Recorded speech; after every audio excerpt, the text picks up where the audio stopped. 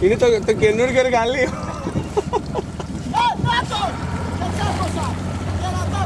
Τον έχεις.